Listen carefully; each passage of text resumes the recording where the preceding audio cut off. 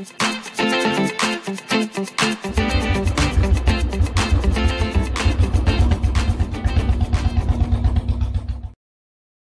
Hello Royals मेरा नाम है स्वप्नी और आपका स्वागत है आर्य रॉयल्स पर। इंजन परफॉर्मेंस में स्पार्क प्लग बहुत ही इंपॉर्टेंट रोल प्ले करते हैं। अगर आपके मोटरसाइकिल में इग्निशन को लेकर कुछ प्रॉब्लम आ रही है या फिर मिस फायरिंग की कुछ प्रॉब्लम आ रही है तो हो सकता है कि स्पार्क प्लग्स के ऊपर कुछ कार्बन डिपॉजिट हो चुका होगा। या फिर आपके मोटरसाइकिल में माइलेज को लेकर कुछ इशू आ रहा है तो स्पार्क प्लग के रिप्लेस करने के बाद आपका ये जो इशू है वो सॉल्व हो सकता है। आज की वीडियो में Royal Enfield classic 350 twin spark engine जिसमें दो स्पार्क प्लग लगे होते हैं लेफ़्ट और राइट साइड में। तो उन दोनों स्पार्क प्लग को हम घर पे खुद ही किस तरह से रिप्लेस कर सकते हैं, इसके प्रोसीजर के बारे में मैं आपको दिखाने वाला हूँ। वीडियो की शुरुआत करने से पहले मैं आपको बताना चाहता हूँ दोस्तों कि इस चैनल पर आपको रॉयल एनफील्ड रिलेटेड नए updates informative videos do it yourself वाले वीडियोस जिन्हें देखकर आप जो प्रोसीजर होती है, वो खुद ही घर पे बहुत ही आसानी से कर सकते हैं। इस टाइप के वीडियोस मैं अपलोड करता रहता हूँ। तो अपने अगर इस चैनल को अभी तक सब्सक्राइब नहीं किया तो जल्दी से इस चैनल को सब्सक्राइब कीजिए। और वीडियो अच्छा लगे तो इस वीडियो को लाइक ज़रूर कीजिएगा।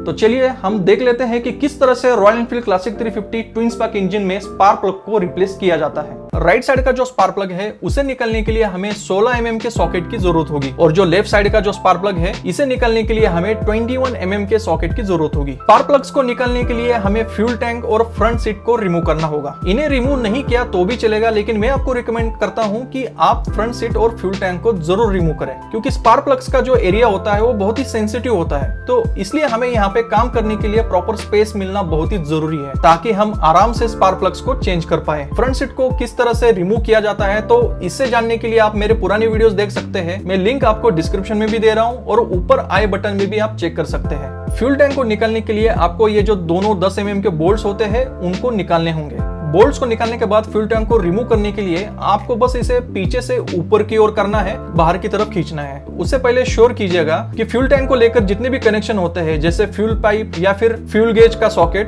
तो उन्हें पहले रिमूव ज़रूर कीजिएगा।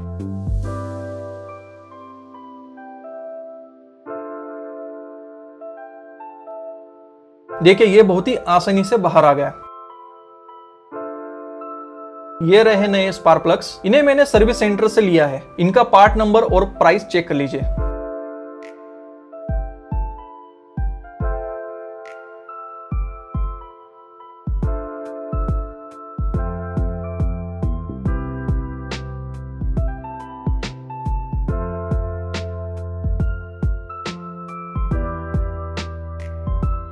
जी हाँ दोस्तों, ये एक ही बॉक्स में दोनों स्पार्क प्लग आते हैं। इसमें से एक छोटा होता है और एक बड़ा।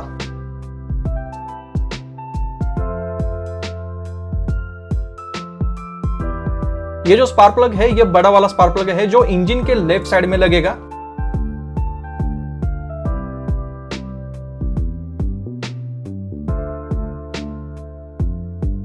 और ये जो दूसरा स्पार्क प्लग है छोटा वाला, वो इंजन के राइट साइड में इंस्टॉल होगा। आप देख सकते हैं कि ये कितने क्लीन है।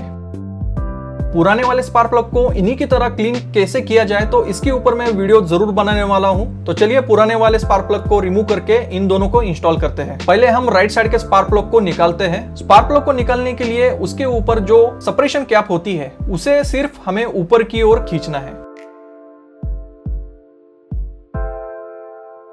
राइट साइड के स्पार्क प्लग को निकालने के लिए हमें 16 एम mm के स्पार्क प्लग सॉकेट लगेगा।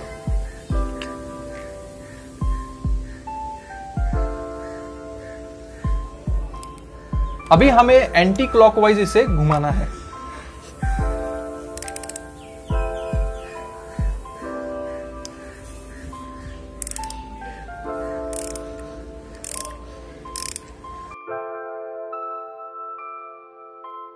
एक बार लूज होने के बाद आप हाथ से ही इसे घुमाकर निकाल सकते हैं। ये देखिए दोस्तों स्पार्क प्लग बाहर निकल आया।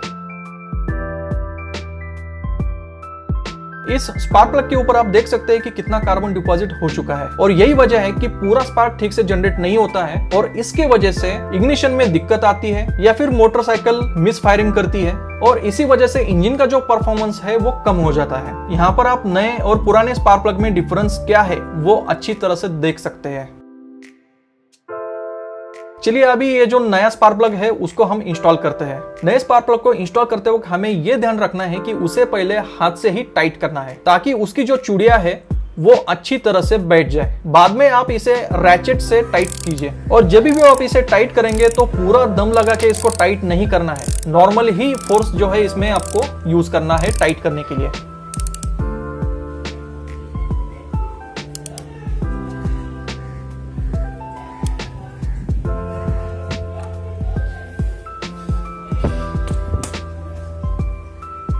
और इसके बाद सप्रेशन कैप को वापस लगा दीजिए।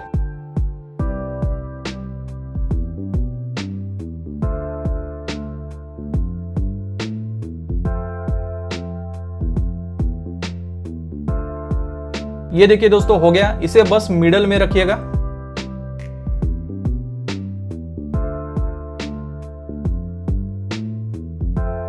ये साइड डन हो गई। अभी उस साइड का रिप्लेस करते हैं। हमें सेम प्रोसीजर अप्लाई करनी है। इसके ऊपर की जो सप्रेशन कैप है, उसे पहले निकालिए।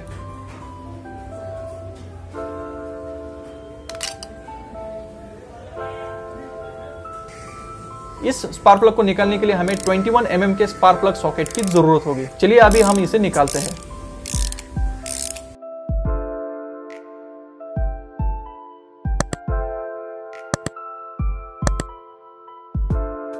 इसकी भी हालत वैसी है जैसे राइट साइड वाले स्पार्क प्लग की है।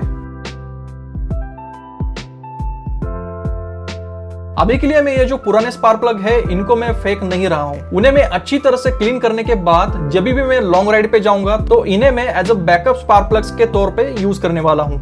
चलिए अभी नया वाला स्पार्क प्लग को इंस्टॉल करते हैं। सेम प्रोसीजर पहले हाथ से टाइट कीजिए और फिर रैचेट से इसको टाइट कीजिए।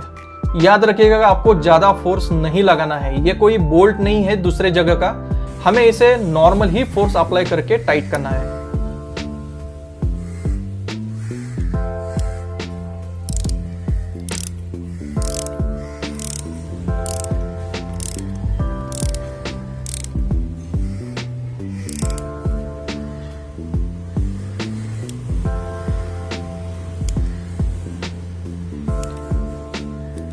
और फिर इसके सप्रेशन को आप वापस लगा दीजिए।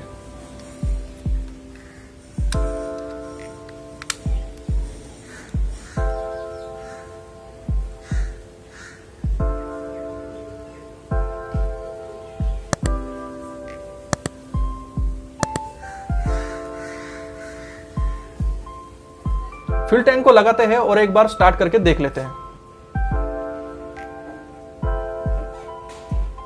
फ्यूल पाइप को कनेक्ट कीजिए।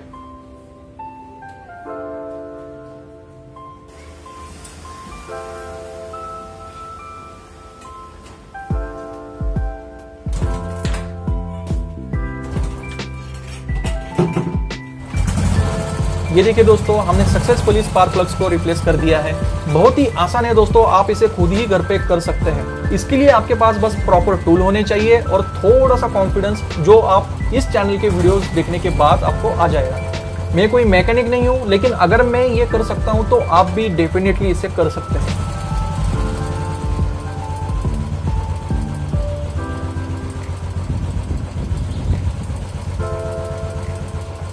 आई होप दोस्तों आज का वीडियो आपको अच्छा लगा होगा। अगर ये वीडियो आपको अच्छा लगा तो प्लीज़ इस वीडियो को लाइक कीजिए। और अभी तक आपने इस चैनल को सब्सक्राइब नहीं किया है तो जल्द से जल्द इस चैनल को सब्सक्राइब कीजिए और साथ ही में बेल नोटिफिकेशन आइकॉन के ऊपर क्लिक करके ऑल को ज़रूर सिलेक्ट कीजिएगा, ताकि जैसे मैं वीडियो को अपलोड करूँ तो उसका नोटिफिकेशन आपको ज़रूर मिले। आपको मिलता हूँ अगले वीडियो में। तब तक के लिए जय हिंद दोस्तों।